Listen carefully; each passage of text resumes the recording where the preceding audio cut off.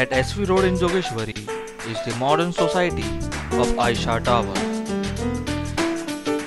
The society has amenities like security personnel, maintenance staff, clubhouse, intercom facility, and 24/7 water supply.